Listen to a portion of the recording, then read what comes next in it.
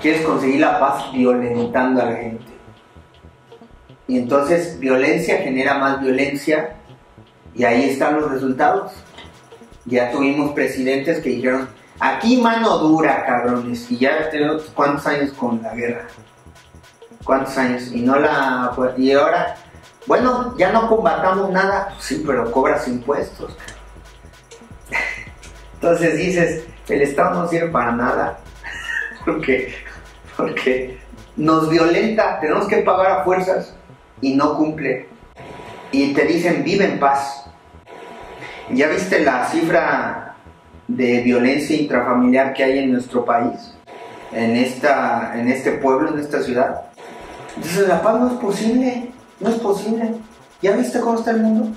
Hay guerra en Ucrania, están manejando los rusos y Estados Unidos está peleando con Rusia.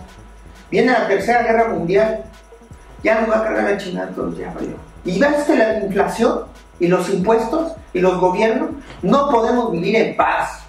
Y entonces la, la respuesta que nosotros les damos es, sí es posible vivir en paz, pero hemos querido construir este modelo didáctico, paso a paso, para poder lograrlo.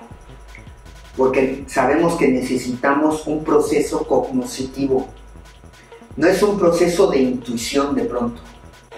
No, necesito de mi potencial racional, de mi espejo racional para poder saber cómo estoy procesando la paz y cómo la estoy experimentando. Porque el lenguaje me permite articularme, recordarme y experimentarme.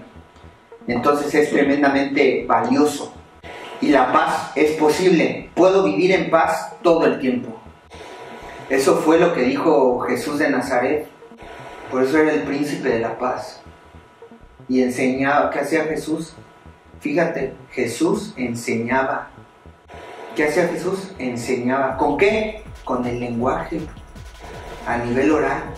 Te enseñaba cómo habitar en tu paz interna